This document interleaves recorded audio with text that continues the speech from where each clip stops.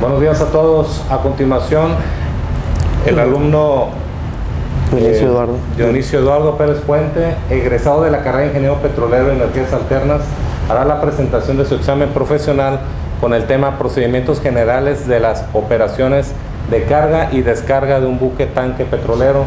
Tenemos como sinodal a nuestro rector, al ingeniero Antonio Andrés Pascual García, y a los alumnos de la carrera Ingeniero Petrolero de sexto. Damos inicio, Juan- eh, Dionisio, adelante. Pues adelante, vamos a darle inicio a su tesis profesional. Bueno, este, buenos días. Yo voy a hablar sobre los procedimientos generales de las operaciones de carga y descarga de un buque tanque petrolero. Se dice que en las operaciones portuarias de un buque tanque son diferentes a las de cualquier otra nave mercante, ya que no se trata de solo cargar y descargar este, rápidamente o lo más rápido y seguro posible, como sería por ejemplo en el caso del buque portacontenedores, sino que además de se deben tomar una serie de precauciones referentes a la, naturaleza de carga y descarga de, que se transporta. Se dice que en el caso del buque tanque petrolero, la carga que es el hidrocarburo es de naturaleza inflamable, ya que posee componentes tóxicos y en algunos casos pueden afectar a la salud este, la gente que esté en contacto con, con ellos. En algún caso de derrame, pues, el hidrocarburo es altamente dañino para el medio ambiente marino.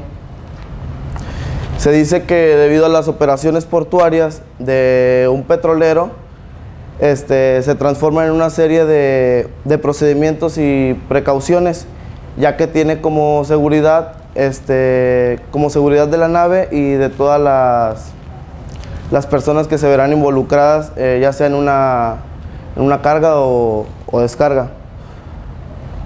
Se define como hidrocarburo como el petróleo en todas sus manifestaciones, este, incluidos los crudos, los crudos de petróleo y los residuos petrolíferos y los productos de refinación. Para efectos de, este trabajo, cuando se mencione de forma general este, todos los tipos de carga de un buque petrolero, se hará por el nombre de, hidrocarburo. Este, se dice que en los antecedentes el primer flete de hidrocarburo por, realizado por mar fue en 1861 desde Filadelfia a Londres en un buque de carga general llamado Elizabeth Watts. Este, en esta ocasión transportó 1.329 barriles de crudo, los cuales arribaron a, a Londres sin ninguna novedad. El primer buque diseñado para transportar hidrocarburo a granel fue en 1886. La carga iba repartida en estancas y separadas, en bodegas estancas y separadas. Además fue un buque con el nombre de Gukauf y eso se transformó, se transformaría en modelo para los futuros buquetanques. Eh, también uno de los mayores avances este, en el diseño del buque tanque se produjo en 1912.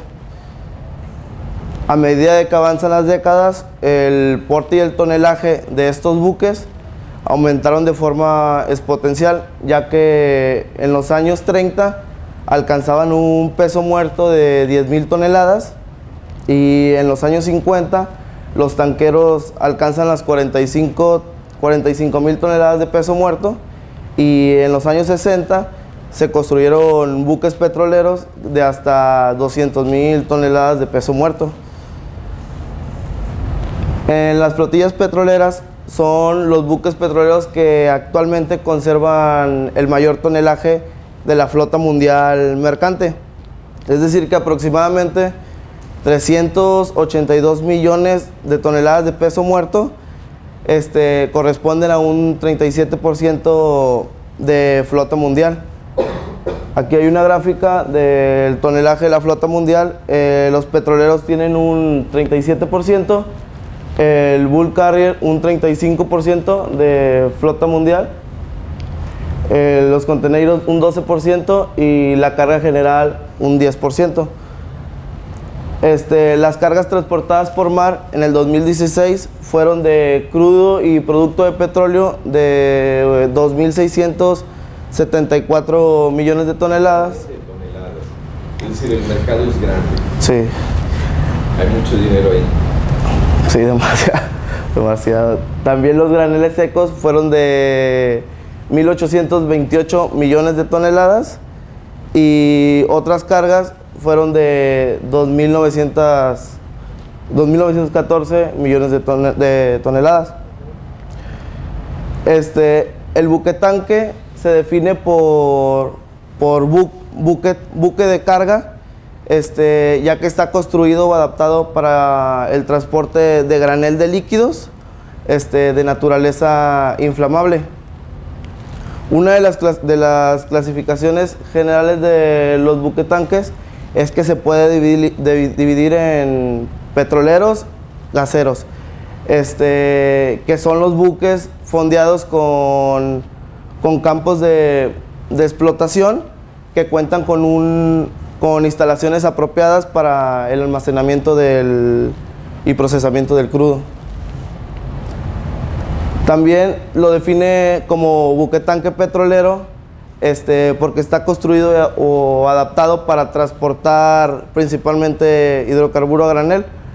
Este, en sus espacios de carga, este buque es conocido como petrolero o buque tanque o simplemente tanker.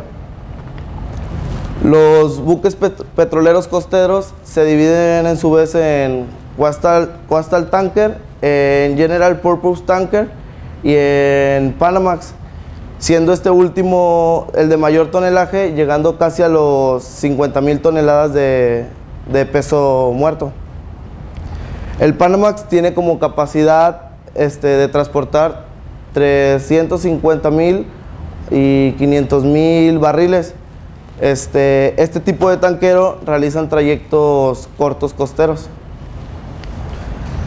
También está el buque petrolero Aframax, que es destinado exclusivamente para el transporte de crudo. Y el Aframax está diseñado para transportar entre 500 mil a 800 mil barriles. Eh, alcanzan un peso muerto de 80 mil toneladas y su ruta incluye áreas como el Caribe y el Golfo Pérsico, Desde el Caribe hasta el Golfo. hasta el Golfo Pérsico. Sí, o sea, puede, puede ir sobre el Caribe, el Mediterráneo o el Golfo Pérsico.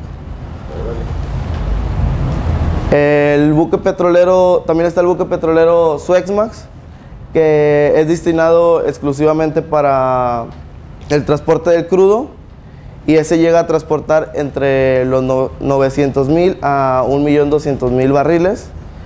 Este va desde los 80 mil 80 mil a 160 mil toneladas de, de peso muerto y esos comercian regularmente en la costa oeste de África hasta, hasta la costa este del norte de Norteamérica.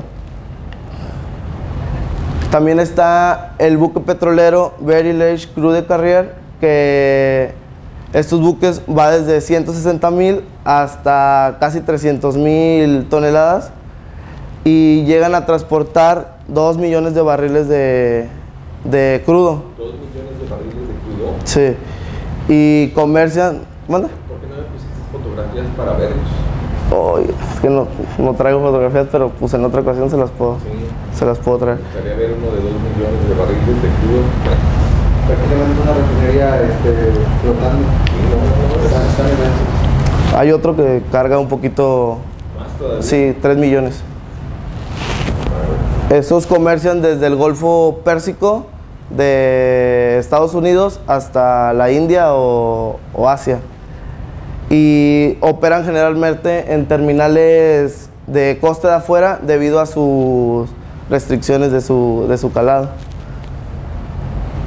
También están los buque, el buque petrolero Ultra Large Crude Carrier, que son supertanques de más de 300 mil toneladas de peso muerto.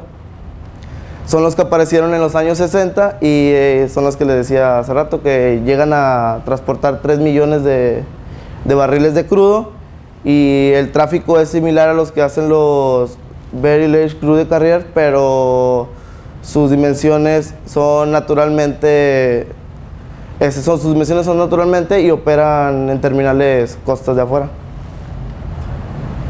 Este, la clasificación por su producto transportado, según, el- según dicen que el tipo de transporte, el petrolero se puede clasificar en, en buques de carga pesada o sucia o en buques que transportan productos de refinación llamadas cargas limpias o cargas livianas.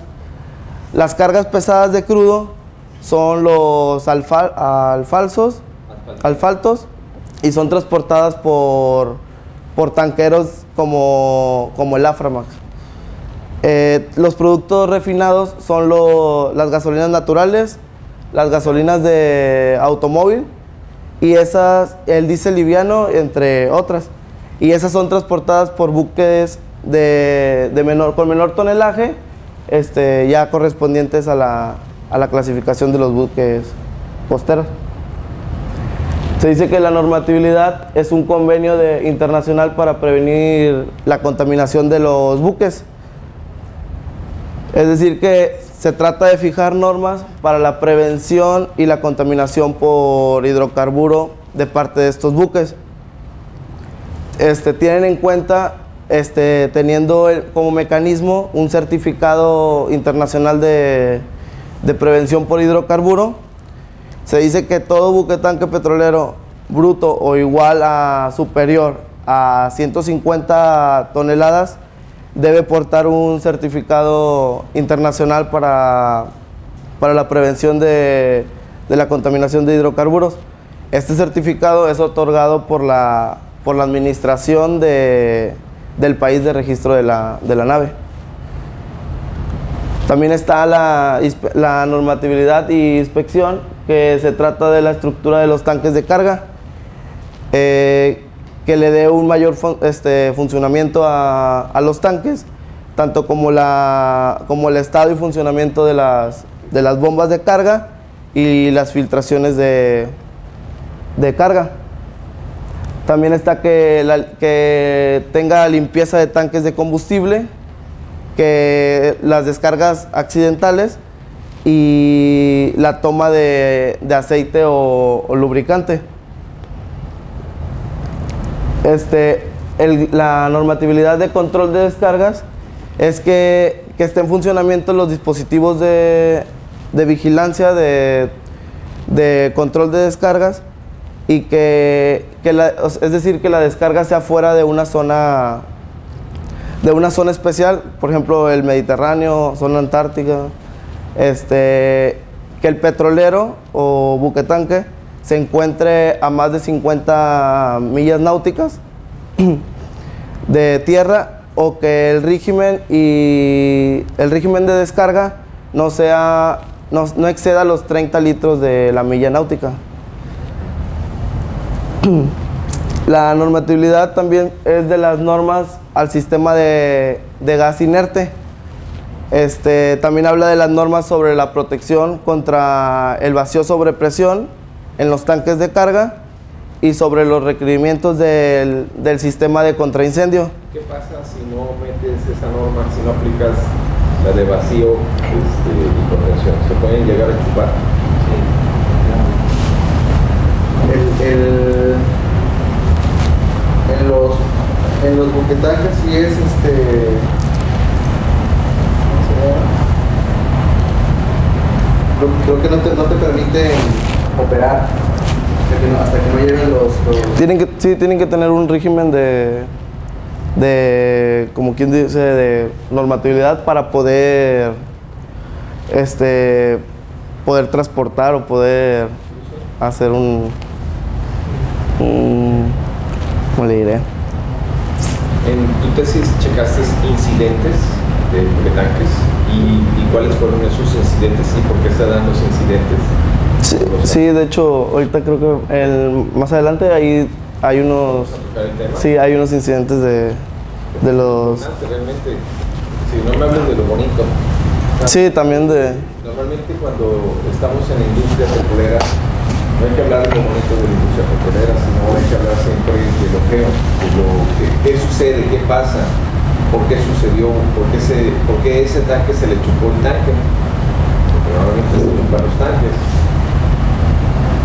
Qué estallan, por qué se queman, por qué se quiebran a la mitad, por qué llegan a desfondarse. Entonces, siempre que vayamos a manejar una industria como es la petrolera y con tantos altos niveles de riesgo, este, ¿qué pasó con las normas? ¿Por qué no las aplicamos? ¿De qué tamaño era el espesor de la lámina? ¿Qué tipo de aleación manejaba? ¿Qué tipo de soldadura? He visto buquetanques que cuando llegan, bueno, también a cuántos nudos debes de ir, cuál es la velocidad del transporte, en qué condiciones meteorológicas debes de navegar, cuándo te tienes que fondear, cuándo te tienes que parar. Normalmente cuando estás en un ciclón, cómo debes de acomodar tu buquetanque, hacia favor o hacia en contra de las olas. ¿Por qué? Porque va a estar haciendo esto el buquetanque, alcanzas hasta 20, 24 metros de altura y vuelve a caer. Entonces yo siento que es bien importante que ustedes, bueno no sé quién de ustedes vaya a ser ingeniero petrolero marino para que hagan el buquetanque. De hecho en una de las últimas tesis que me presentaron, un joven que está trabajando, primero comenzó trabajando en un buquetanque petrolero, a él le asignaron eh, todo lo que es la parte de ingeniería de control del, del buquetanque. Nos empezó a hablar de cómo él eh, diseñó o rediseñó eh, la- las tarjetas de adquisición de datos para el control de las velocidades de los motores eh, y cómo posicionaba al barco, cómo lo tenía que estar posicionando al barco, en fin, mucha técnica, ¿verdad? Le asignaron un barco, vieron que dio un buen resultado, después le asignaron otro barco y al final vino quedando él como encargado de eh, control de calidad en lo que son la ingeniería de control de cada uno de los tres barcos. Le, le asignaron tres barcos. ¿Y que tendrá? 28 años. Está joven. Y se lo llevaron de aquí, le dio pánico, por cierto. Entonces, no creen que fue a buscar el trabajo. Y llegó el barco, se estacionó, este, platicó con el capitán. Es, ahora sí que fue un, pues, muy rápido la, la manera de su contratación y lo subieron al barco y ahorita anda viajando por todos lados del mundo. Ya lleva eh, ocho años trabajando ahí en el barco y bueno, nos estuvo platicando todas sus experiencias y principalmente nos dio una tesis muy amplia sobre lo que es el sistema de control de la velocidad de los motores. Este, porque a medida que, que los, bueno, si vas a hablarnos de los crudos, pesados y ligeros, Mm, sí, pero no muy a fondo de... no muy a fondo. Ajá. Bueno, vamos a darle continuidad a su tesis. Este, también está la normatividad del doble casco, que es lo que decía hace rato de los accidentes de los buques petroleros. Esos ocurrieron desde, desde los inicios del transporte, como el desbaramiento de del petrolero Torre Canyon, que fue en 1967, o la varada del petrolero estadounidense Edson Valdez en 1989, que fue la que trajo consecuencias en los diseños del, del buquetanque petrolero. Este, también está el, diseño del buque, que es de la disposición actual de los espacios de un buquetanque petrolero, ya sea que se transporte carga refinada o, o carga pesada. Este, la, en, la, en la sala de bombas de los tanques de carga este, y el tanque de decantación es llamado conjunto de zona de carga. Este, esos estarán situados en la... La zona de carga estarán situados en la, en la, en la proa de la sala de, de máquinas, que viene siendo la, la parte de enfrente de, de un barco. Y la superestructura donde se ubican las habitacionales y la sala de control de carga, estarán, estarán dispuestas a popa de la zona de, de la zona de carga. Este, los buques, los buques que, que transportan productos refinados tienen como cantidad de tanques de, 10 de promedio de 16 a, a 18. Es decir, que debido a la, a la viscosidad de, de, la carga, este, los tanques de, de, los buques cruderos cuentan con una calefacción para, para un mejor, una mejor circulación de carga.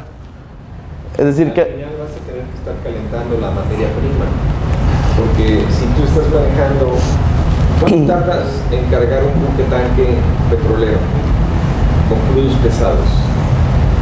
mm, Seis horas, de seis a ocho horas vas a estar tardando en subir y en rellenar a un buque tanque. Esos son, esos son algunos de los conflictos que estamos teniendo ahorita aquí en México, que tardamos mucho en cargar un buque tanque con los crudos pesados. Entonces tenemos que calentar forzosamente para poderle bajar la viscosidad al crudo pesado y así al hacerlo más fluidizable este, perdemos menos tiempo en estar rellenando un tanque.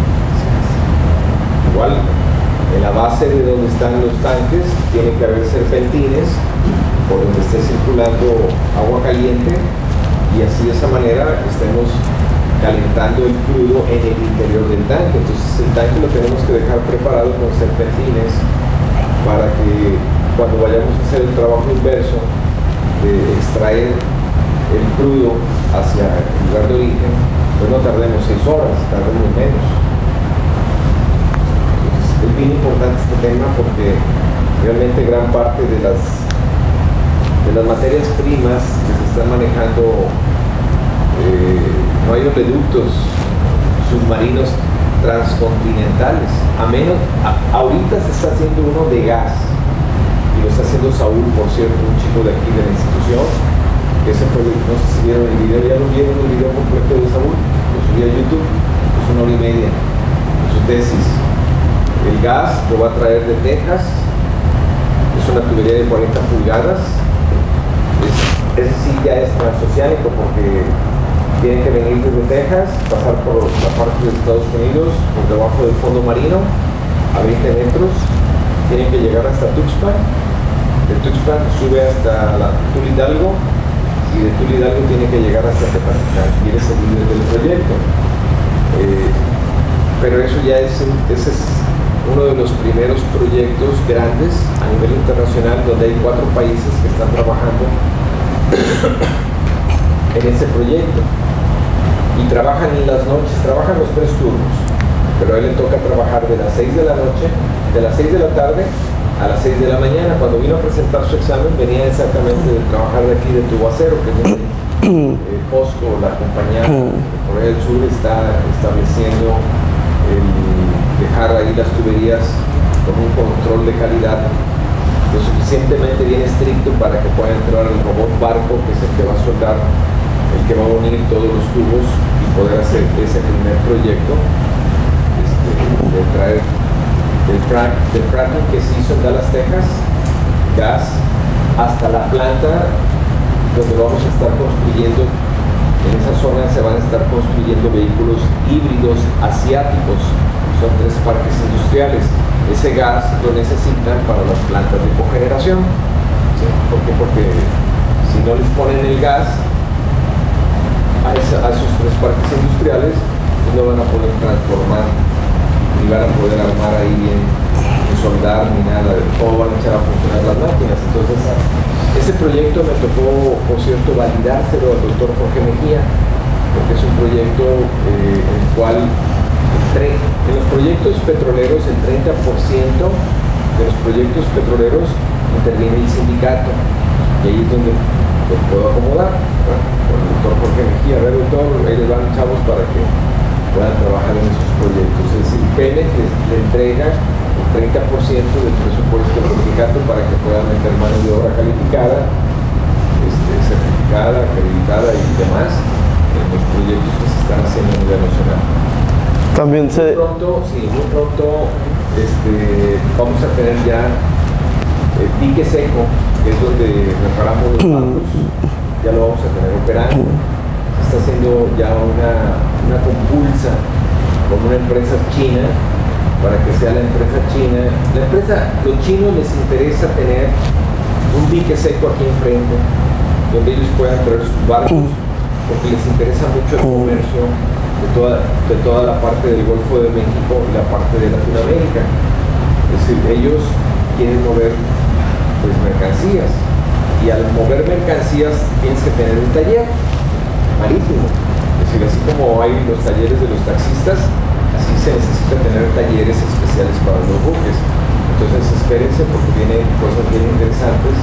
De los chinos se van a venir hacia acá, hacia esa parte. Ya no van a, estar trabajando de este lado del mar, sino se, se vienen hacia el Golfo para empezar a mover desde Estados Unidos, Miami, Cuba, este, toda la parte del Caribe, en fin, hasta llegar hasta las Antillas holandesas.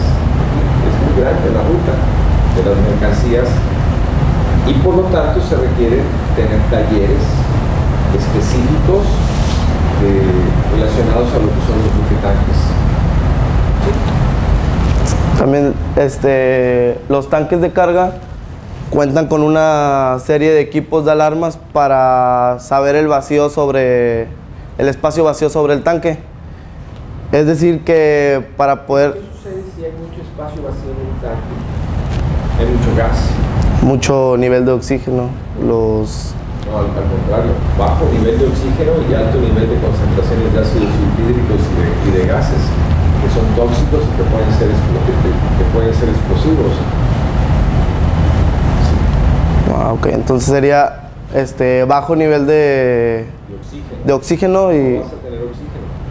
Si vas a tener gases tóxicos, ¿por qué? Porque si tienes, imagínate un tanque, lo tienes lleno a la mitad y tienes la otra parte libre, en esta parte libre es donde se concentran los gases tóxicos que se van generando partir presión. De la, misma, de la misma presión y de la misma cocción que está dando en el interior del tanque. Ah. Tienes que tener en la parte de arriba válvulas de escape, tienes que tener niveles de seguridad, tienes que llevar anti-espumantes o espumantes, en fin, tienes que trabajar con Sí, de hecho ahorita ahí también dice algo así de este para saber el espacio vacío, este y eso también también hay un sistema que permite la ventilación de, Sí, de este. claro. Este, en el diseño del buque y el nivel de carga se encuentra el tank radar, que es el que está ubicado en la parte superior de la cubierta de la carga. Funciona como, como radar enviando, enviando ondas electromagnéticas, las cuales al chocar con el, con el nivel de carga son reflejadas a un dispositivo de, de cubierta, el cual calcula el nivel de el nivel según el tiempo que tardaron en, demorar las, las ondas.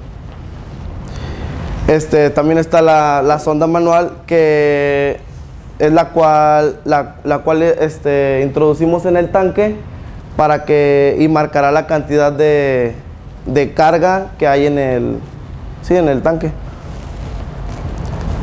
Este, también está la concentración, tengo la concentración de gas, que son los equipos utilizados que son, que son llamados indicadores de, de gas. Este, eso es que, que la unidad de medida que utilizan estos instrumentos, este, en porcentaje de volumen de gas, este, mm, está también lo que viene siendo la concentración de oxígeno que son los que son llamados sensores para, para magnéticos y sensores electrolíticos y líquidos de absorción química que, que son los cuales entregan las lecturas en porcentaje de volumen en la, en la atmósfera. También está el sistema de respiración del tanque que es por donde se controla la salida de los, de los gases que se encuentran en su interior. Este, pueden ser gases de hidrocarburo, este, aire o gas inerte. Y así, y así pueden brindar una protección frente a, escenarios sobre vacío sobre presión y, pueden llegar a causar deformaciones en el, en el tanque.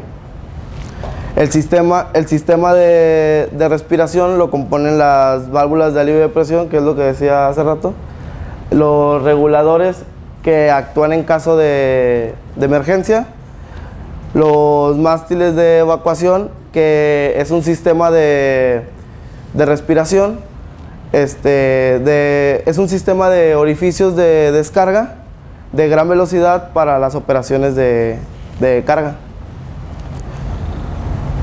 También está la, cubierta de carga, que, que, es la cubierta expuesta que se encuentra en una serie de, líneas relacionadas con la, con la carga, que sería la línea de carga y descarga, la maniflut de carga, las líneas de gas inerte, las líneas de, contra, de contraincendios y la línea de lavado de, de tanques.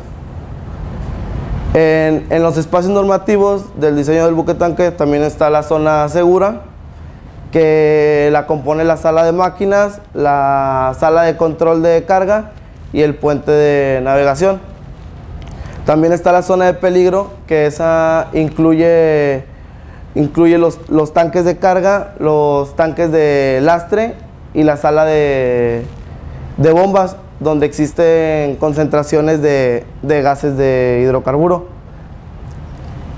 Para la inertización de gas, este, es un sistema de medida de seguridad que, implementan en, los buquetanques, ya que tiene como gran propósito evitar los, los incendios o las explosiones en la zona de carga.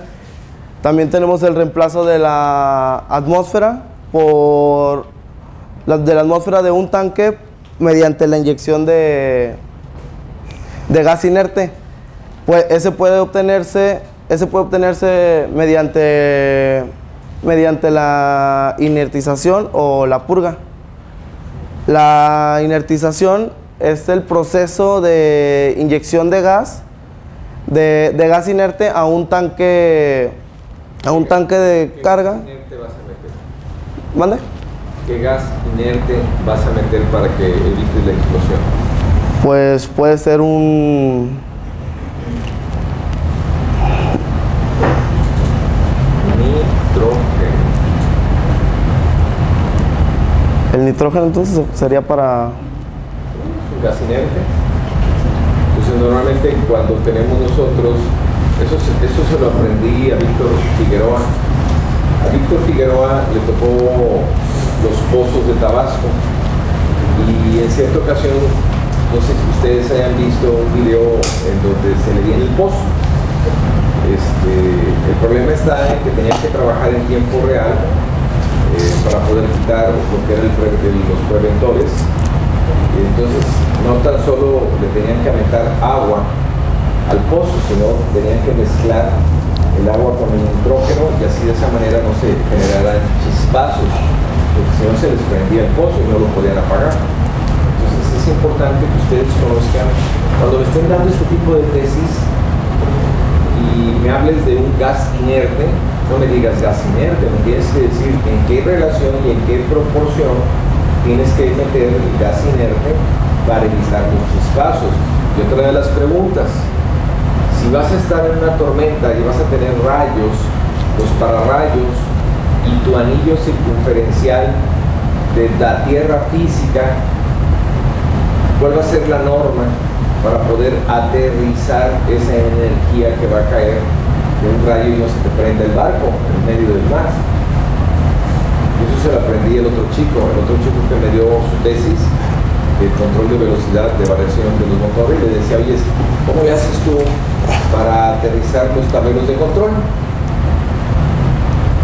Normalmente nosotros aquí en tierra pues, ponemos unas varillas, pones unas varillas este, de cobre a, a metro y medio o un 80 de profundidad, haces una red de tierras físicas y con eso aterrizamos. Pero en un barco, ¿cómo haces? A ver, chavos, para aterrizar los tableros de control, para aterrizar las bombas, donde existe electricidad, para esos pasos y esos, esos excedentes de, de amperaje o de voltajes que puedan existir en los barcos, ¿cómo los aterrizas? Respóndemela. Entonces, él se las tuvo ingeniar, perdón. Tuve para, para rayos, los barcos. Sí, a ver, pararrayos, pero ese pararrayos tiene que ir el cable a una tierra A una física. pintura especial que tienen los barcos. ¿Pintura? No.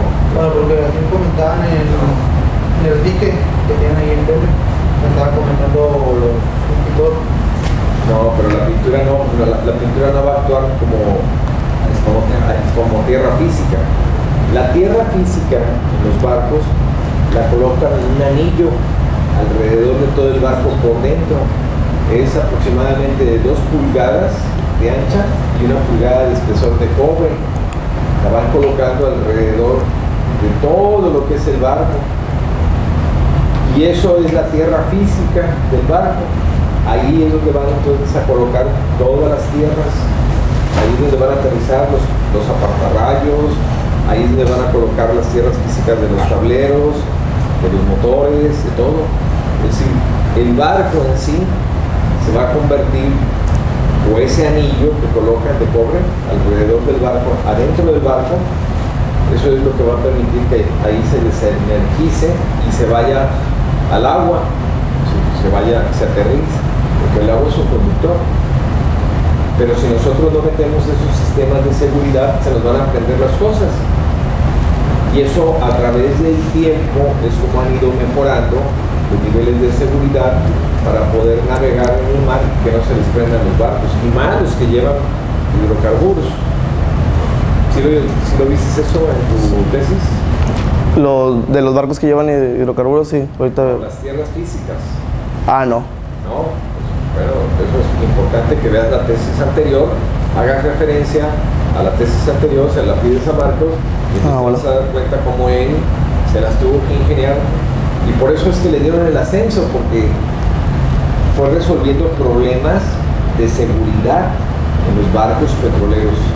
Un barco petrolero cuesta mucho dinero como para que se nos queme, quede ardiendo ahí en el mar y después para pagarlo es una bronca. ¿Sí? Adelante. Sí, también tenemos la, la- lo de la purga, que es mediante la inyección adicional de gas inerte, ¿Qué gas inerte? el nitrógeno que había dicho. Este.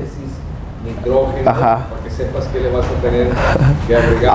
A, a un tanque ya inertizado, este, lo cual tanque ya inertizado por el, por el nitrógeno, porque ya lo vas a rellenar.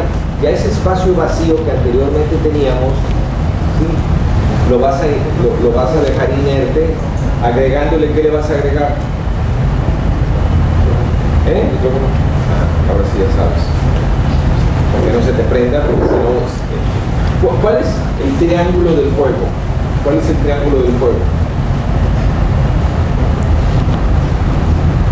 ¿Cuál es el triángulo del fuego? Uno, eh, combustible y chispa. Entonces quítale el oxígeno. ¿Sí?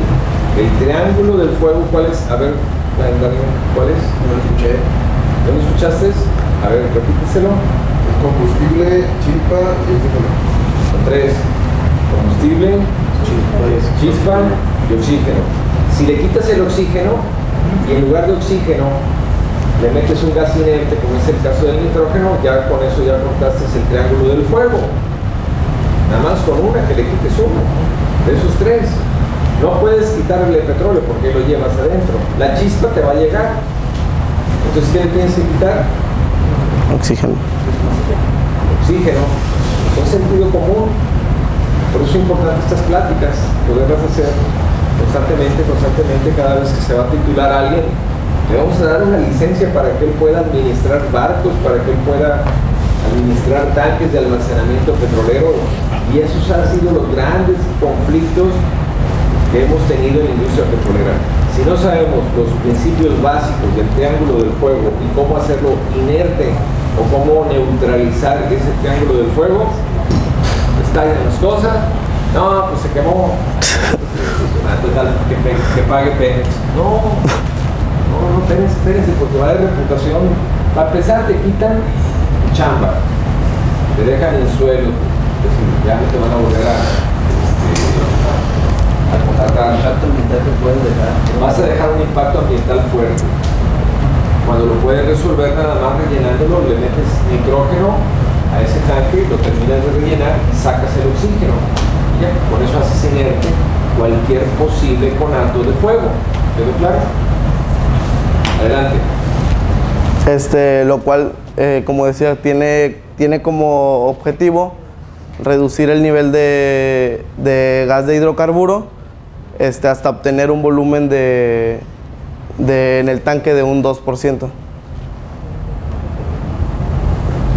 También están las medidas de seguridad y las protecciones de los tanques, que se dice que los tanques de carga son construidos para resistir grandes esfuerzos como el peso de la carga y las presiones ejercidas por el, por el mar. Este, también se implementa, un, se, implementa con un sistema de respiración que mantiene las presiones de, en el interior del tanque. ¿qué sucede si viene un huracán? ¿Vas a navegar a favor del huracán o en contra o, des- o en forma sesgada? Pues en forma sesgada, ¿no? Para que no... ¿Hacia dónde vas a ir? Hacia una zona segura. Y eso es uno de los principales problemas que tenemos en la industria naviera. Eh, me tocó estar con tres, con tres personas, no son capitanes de barcos, son personas que están eh, trabajando actualmente porque si estamos entrando en la reforma energética fuertemente, porque ya la están metiendo de a no, no nos pidieron permiso, sino que entra, la reforma energética entra porque entra, eh, van a empezar a modificar los muelles para que esos muelles que anteriormente recibían barcos pequeños, los muelles puedan recibir barcos grandes. Y tengamos en las dos costas, si algo México tiene es que tenemos grandes extensiones este, de mar, tanto en el Atlántico como en el Pacífico, pero necesitamos preparar los muelles para que se puedan recibir barcos, las gasolinas. ¿cómo van a llegar? Pues hay que preparar los muelles y ello implica también preparar espacios donde puedan llegar, si hay un huracán, pues se puedan estacionar, ¿verdad? Por ejemplo, si viene por acá por Cancún un barco y quiere llegar hasta acá, hasta Refinería Madero, se deben de dejar espacios para que se puedan estacionar y se puedan anclar, se puedan ahí este, darles el espacio seguro para que los huracanes no me los volteen, no me los lastimen a los barcos. Entonces, no nada más es ir navegando, navegando, navegando, navegando, a ver si que y navegale, no, sino ir navegando con seguridad. Esos trabajos son trabajos que trae también el doctor Jorge Mejía, el don Fermín Aragón, de este, del capitán Aragón, y están modificándose los muelles México para que así de esa manera puedan llegar barcos grandes de gran tonelaje rellenos de gasolinas y, y podamos entrar pues a esa reforma energética en la cual los particulares van a poder vender gasolinas de otros países, no nada más exclusivamente de México. ¿Y en qué van a llegar esas gasolinas? Pues en barcos. Adelante. Este, el sistema de respiración este, compone de las válvulas de presión, los reguladores de presión, el mástil de evacuación y los orificios de, de respiración. Eh, las medidas de seguridad del sistema de lavado de, de tanques es que la limpieza se realice mediante el reemplazo de- del agua como, y como agente de limpieza este, sea el mismo petróleo crudo este, que, se, que por el mismo petróleo crudo que se transporta. Este, también es importante que se realice una inspección general en las máquinas fijas o portátiles, ya sea las mangueras, ya sea mangueras y líneas de distribución, antes de efectuar cualquier tipo de, de lavado. Las mangueras cuentan con una marca indeleble que es donde llevan la, el registro de el registro que consta de la fecha, el resultado del test de continuidad eléctrica y, y al utilizar el, el sistema, las máquinas de lavado estarán conectadas a, a tierra para así evitar una, una descarga entre la máquina y, y la atmósfera del tanque. Este, A ver, una pregunta. Cuando un fluido se mueve en el interior de una tubería, ¿genera carga electrostática?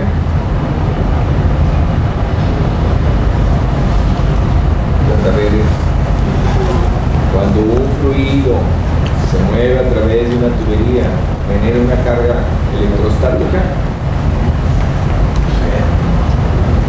Estoy preguntando para que se sea la jugada todo fluido que se mueva dentro, todo fluido,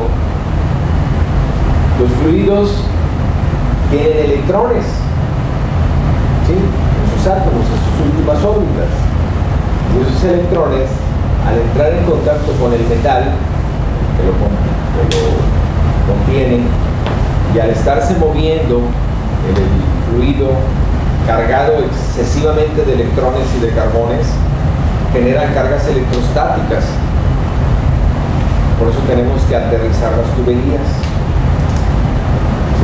Todo fluido que tenga carbón, electrón, hidrógeno en su estructura molecular va a generar cargas electrostáticas.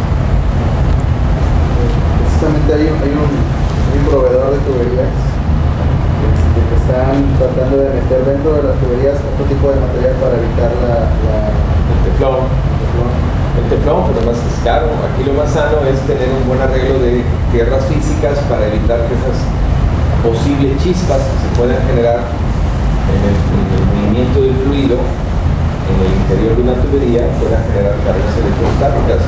Cargas electrostáticas generan chispas y esas chispas hacen que, que haga la ignición. ¿Sí?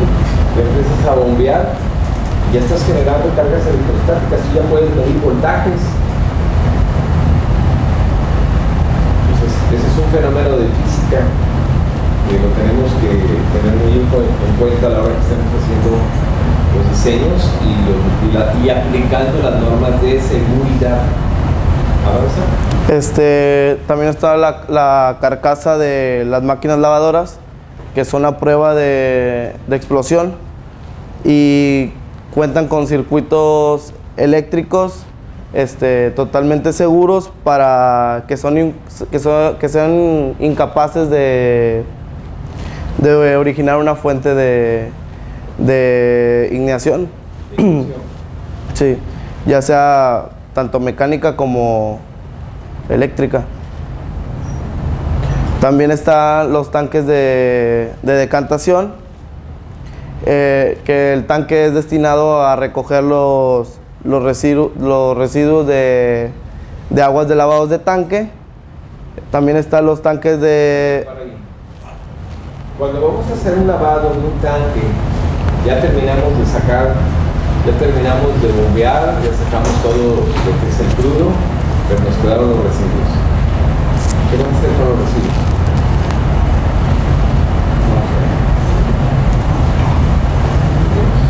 Ahí los vas a tirar al mar. No, supongo que tienen que tener como un control para poder desecharlo. Pero no sé. ¿Qué vas a hacer con los residuos? Salen muchos residuos, ¿eh? muchos sólidos que quedan en el fondo del tanque. ¿Qué vas a hacer con los residuos? Primeramente, hacer un formato de llenado, determinar cuántos metros cúbicos quedaron de residuos, llevarlos a un tratamiento para neutralizarlos.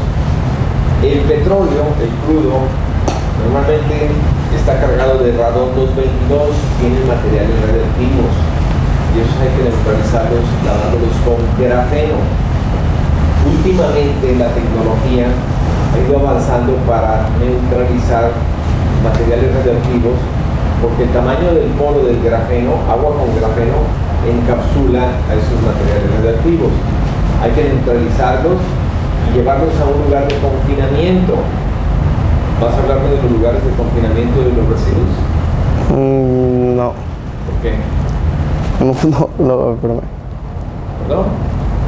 Mm, No. Es que tenemos que ir viendo que la naturaleza, jóvenes, no puede recibir todo, porque no tardaría mucho.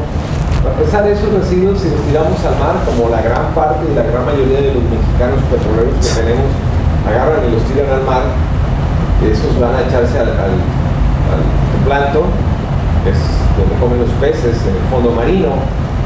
Vamos a estar creando conflictos de acidez, el mar cada vez lo estamos haciendo más ácido porque nosotros no hemos tenido la precaución de que esos sólidos que quedan en el fondo de los tanques, que son muchas toneladas las que van quedando, las que van quedando, es- se les dé ese tratamiento y se les lleve a zonas de confinamiento. Y en esas zonas de confinamiento se les dé los, los tratamientos adecuados para neutralizarles el pH, que no sea un pH ácido, sino un pH neutro. ¿Cuándo decimos que es un pH neutro? Cuando está en cuánto? ¿En 5? ¿En 8? ¿En 7? ¿Cuándo decimos que un pH es neutro? En 7. Bueno, ¿y los demás por qué no contestan? ¿Qué es un pH neutro? ¿Eh? No, tienen que regresar ahí al laboratorio por Luis para que les explique qué es un pH neutro. Incluso en los fluidos de control tenemos que aprender a manejar los fluidos de control en la perforación, tenemos que aprender a manejar nuestros pHs y hay que neutralizarlos, estamos neutralizando. Vamos a decir que un pH es neutro cuando está en 7. Debajo de 7 es ácido, arriba de 7 es alcalino. Son principios básicos de química jóvenes. Si nosotros lanzamos un producto neutralizado con un pH en 7 al mar, ya no no le vamos a provocar daño al mar, ya no lo vamos a hacer ácido. Pero si nosotros lanzamos productos que tengan un alto contenido de acidez, pues es obvio que las costas van a estar llenas de, este, de color naranja, van a poner de color naranja y eso va a matar a los peces porque va, a- va a bajar la demanda de oxígeno. Es decir, un pH acidoso reduce los niveles de oxígeno. Entonces, por eso es importante que sepamos cómo neutralizar todos los residuos que salen de un barco. Adelante. También está el lastre separado, que es agua de lastre, que se introducen en los, en los tanques que están separados de los servicios de, de carga. Está también el lastre limpio, que es el agua de lastre, que es llevada en los tanques de carga y el cual ha sido ¿Qué ya... es el agua de lastre? ¿Eh? ¿Qué es el agua de lastre? ¿Quién está hablando del agua de lastre? Son dos cosas muy distintas. Ah, ya lo estás diciendo tú. ¿Para qué sirve el agua de lastre? Para la liberación de los bancos. ¿Qué va a pasar? ¿Qué haces con el agua de lastre? Ah, Cuando un barco está navegando, tienen como unos tanques que eso los llenan de agua cuando quieren que el barco se, se achaparre y cuando quieren que el barco salga a flote, Se sumerja. lo, lo- para que se sumerja. Este, cuando quieren que el barco vuelva a flotar, pues lo sacan y A ver, de- cuando tenemos barcos plataformeros, cuando tenemos barcos plataformeros y vamos a mover plataformas, usamos barcos, como dice aquí el compañero, que se sumerjan y A la hora de sumergirse, entonces subimos la plataforma encima del barco plataformero y vamos a tener que usar el lastre para cuando lo podamos levantar. Entonces le vamos a estar llenando los tanques que tienen la parte especiales para que pueda hundirse o pueda flotar. Y trabaje como un elevador, ese es el agua de lastre, un elevador natural. Un elevador natural. A ver, otra pregunta básica. Si yo voy a llegar al canal de Panamá con un barco y traigo agua de lastre, puedo tirar el agua de lastre directamente, porque en el canal de Panamá pues vamos a tener esclusas, puedo agarrar y tirar esa agua de lastre antes de entrar a las esclusas, así al agua, al, sistema lagunario del canal de Panamá. La puedo tirar así nada más, así porque sí. O le tengo que dar un tratamiento. ¿Y por qué le tengo que dar ese tratamiento a esa agua de lastre? ¿Qué sucede si van pescaditos como el pez, el pez diablo? chiquitos en el agua de lastre y se me ocurre a mí como capitán del barco agarrar, llegar al canal de Panamá, porque voy a, por, ahí no voy a meter, y yo tengo que tirar agua de lastre, porque ¿para qué quiero tener agua de lastre si voy a entrar a las esclusas? Entonces esa agua la tenemos que tratar, le necesito meter cloro para matar todos los pececitos que pueda llegar a traer en el interior, esa agua de lastre, y no se combinen especies marinas no deseables este, en esas zonas. Entonces eso te lo va a pedir el administrador del canal de Panamá. Oye, ¿sabes qué? Tírame por favor, dame, dame el certificado de donde ya hiciste el tratamiento de esa agua de lastre y donde no van pececitos chiquititos, ni medianos, ni grandes hacia el, hacia el sistema lagunar. Entonces, por eso son importantes este tipo de tesis para que ustedes vayan aprendiendo a tratar los residuos, a tratar el agua de lastre, los tanques, el almacenamiento, el mantenimiento, la limpieza, bla, bla, bla. Vean cuántas cosas estamos viendo ahorita en estas veces. No es tan fácil llevar un barco. Otra, es donde normalmente los a los capitanes. Los que están moviendo las gasolinas en el país son capitanes de marina y los que rellenan, los que suben la gasolina al, al son petroleros. Pero si el capitán de marina, les digo porque tengo un amigo que es capitán de marina, el capitán Julio Aragón, este, decide, decide el, está cargando la gasolina al tanque, quitarle unos 100 mil litros. Y el capitán del barco no se da cuenta que le faltan 100 litros y a la hora que vaya y baje este, su carga, le faltan esos 100 litros, ¿a qué se los van a cobrar?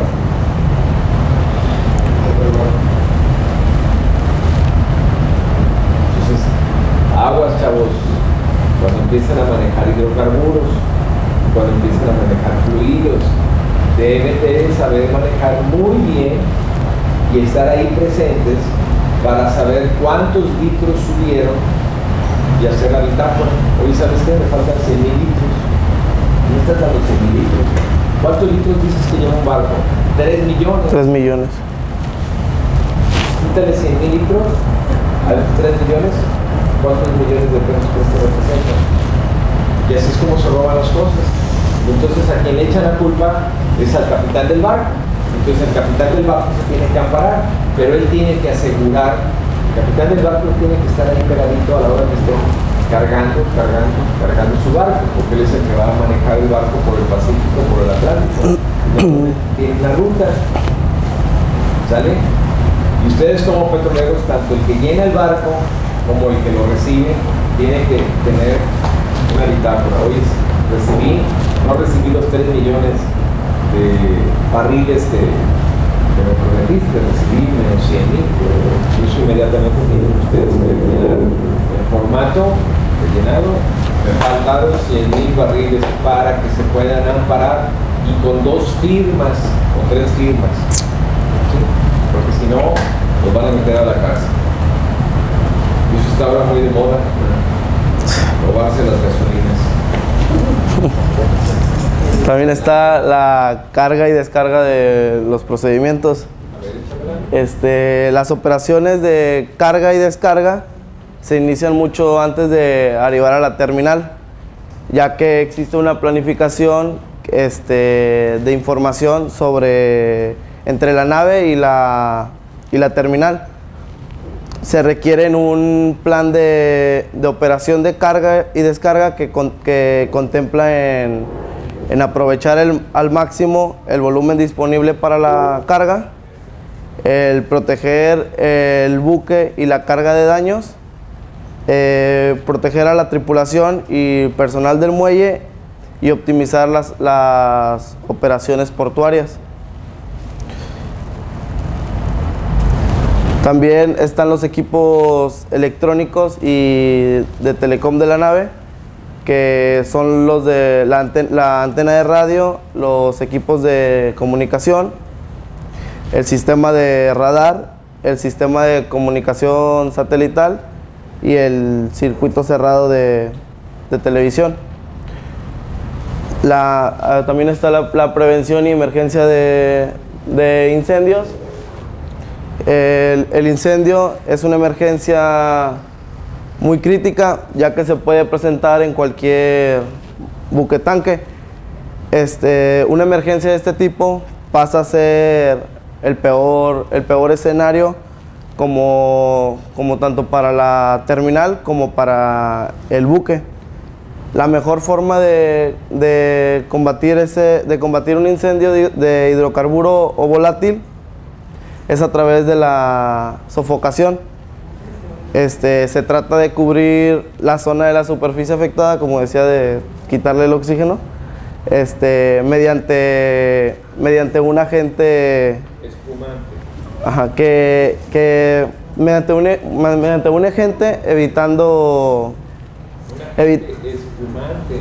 sí, ahori- ahorita que... No, es que ahorita voy a decir eso. Este, mediante un agente este, que tratando de que no ingrese más oxígeno a la mezcla eh, inflamable, eh, el agente es recomendado la espuma. También está la prevención y, la emergencia de incendios, que ante una, emer- una emergencia de, de incendio, la nave cuenta con, un plan de emergencia, el cual es de conocimiento de todos los, los tri-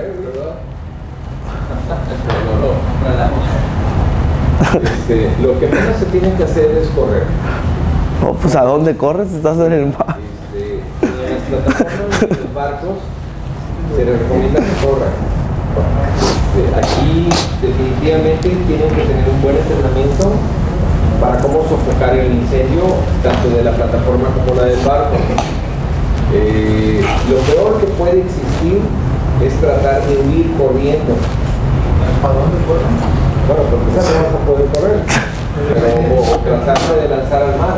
Pero si se dan el mar, pueden comer los tiburones o jalar las turbinas.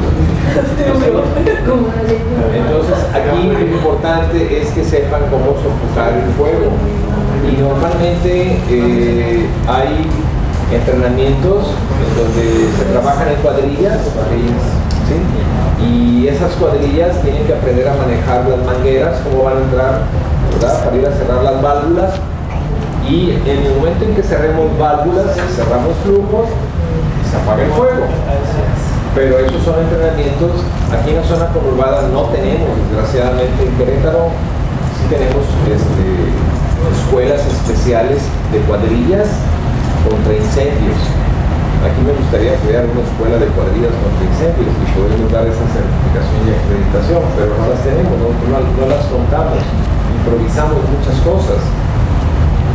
Este, lo, menos que se tiene que hacer es correr, no hay, como dice por la fuga, no, fuga no.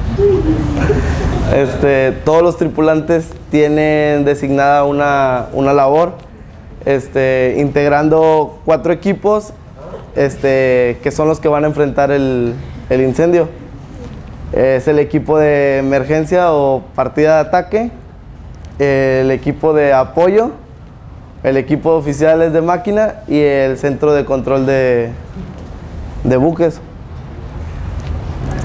Y pues ya ahí terminó mi, mi presentación.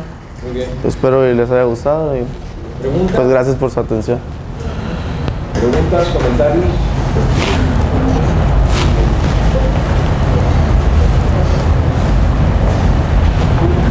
Él mencionaba ahí en el banco, cuatro grupos.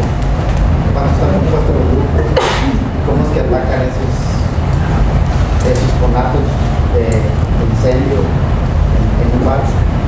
¿Cómo es que, que a ellos los, o ellos están capacitados, cómo están capacitados para que digan, bueno, a mí me gusta la compañera, mi compañera, y qué es lo que tengo que hacer en ese momento? porque me supongo, supongo que, que de alguna manera deben de estar organizados, pero de qué manera voy a organizarlos y quién los va a organizar.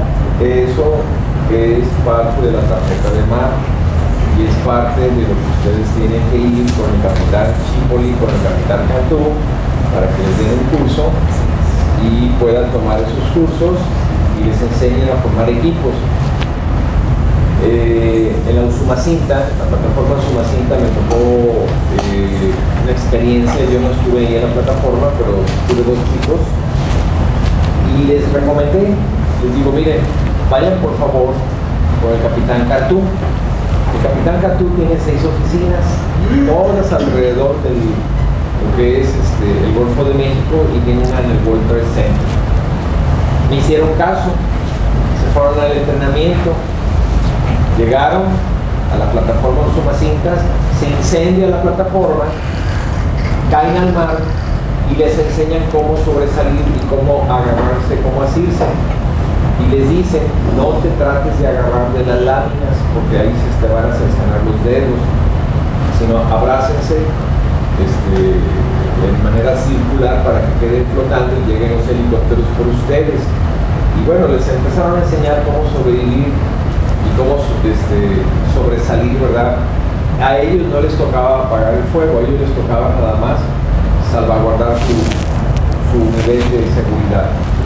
Entonces yo sí los invito para que después de que salgan del CEDIL, vayan con el capitán Chipoli, con el capitán Catú, a sus oficinas, tomen el curso, les den las tarjetas de este, supervivencia en el mar, y ahí se forman los grupos. Ahí donde los van ellos a capacitar en la asignación, en la asignación y así de esa manera ustedes van a saber cómo van a trabajar en equipo y qué es lo que les va a tocar. Este, entonces, ahora sí que les van a enseñar el ABC completo de cómo apagar un conato y cómo salvaguardar la nave o la plataforma. Este, aparte cada instalación, dependiendo ya sea marina, de, son plataformas o barcos, tiene su cuadro de funciones de acuerdo a cada siniestro que se realiza, con todos los encargados y cómo se divide. No todos son iguales, aunque sí hay una norma que, lo, que se generaliza porque los equipos gabachos tienen muy distinto el cuadro de roles que los mexicanos, pero por lo general siempre se trata de que estén par en y aparte que se haga capacitación y los simulados se pueden cascar, que al final de cuentas a veces la gente no, no reacciona igual con todo. Es importante que en las presentaciones, en las futuras presentaciones que vayas a hacer, eh, pongas imágenes, que no hagas una presentación exclusivamente en texto, porque hay muchos colores que tenemos que interpretar, colores, símbolos, signos, este, las flechitas, sígale aquí, sígale para acá, los colores de las tuberías, Es que, bueno, perdón, pero que falta también ahí este, ver el equipo de protección personal El de, equipo de del protección que está trabajando en este momento, eso que está Sí. embarcado. Este, a- en la entrada, supongo, y creo que así es, debe de tener un plan, el plan de, evacuación, el plan de emergencia, este, eh, y ahí en ese plan de emergencia se debe, o se señaliza, debe señalizar, debe señalizar quién es el encargado, con quién me voy a dirigir, dónde está la ruta de evacuación, si quiero ir a algún plan de emergencia. Eh, La persona que va llegando o alguien que, es ajeno a- a ese tipo de, de embarcación o de trabajo, pues, donde están eh, los, los, baños, el comedor, con quien me voy a dirigir en caso de... Incluso cómo voy a caminar. Cómo voy a caminar, que es... De hecho, sí, traer, ya, ya en la actualidad, eh, la gran mayoría de los barcos ya modernizados, sobre todo los que vienen de... de, de, países, de países del primer mundo, ya vienen con sus organigramas para que desde el capital desde el capitán hasta el último se Hay un curso que da el ingeniero Ramón, que son 120 horas, el que quiera tomarlo.